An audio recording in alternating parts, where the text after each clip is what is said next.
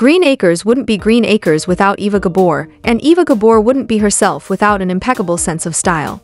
The Gabor sisters are synonymous with, among other things, glitz and glamour, and Eva was no exception.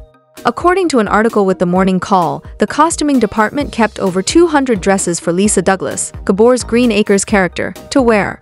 Lisa's lavish outfits always stood out in an episode, especially against the plain and rustic landscape of Hooterville. It's an allure embodied by Gabor herself, who was at home in the glamour of Hollywood. I am very glad to live and work in Hollywood, she said. I do not think I could be as dedicated in New York. There is not much else to do there but work, and even in the third year of the series, every day at the studios is like opening night to me. Often written off under the assumption that she is vain or vapid, Gabor never lost faith in herself and was confident in her ability to succeed in the entertainment industry. I have known always that I would have success, eventually, Gabor said. But I am surprised the way it came. Gabor wasn't only focused on making herself look beautiful, she also worked hard to get others to appreciate their beauty by starting her own company selling wigs. She recalled a special moment when she brightened the life of a customer who had previously lost her hair to chemotherapy and purchased one of Gabor's wigs.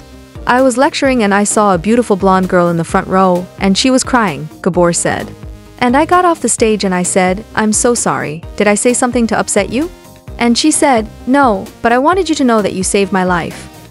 I had sent her one of the wigs, and she was reborn.